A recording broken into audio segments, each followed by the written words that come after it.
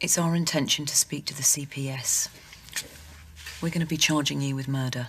No. No, you can't. No. No, you, ca- you can't. I was protecting her. If you can sign here and here.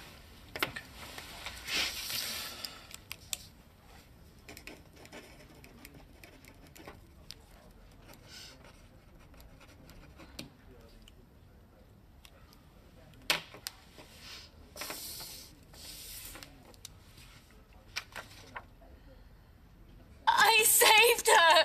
I stopped him from killing her. Please believe me. Please. I'm sorry. No, please. I want to go home.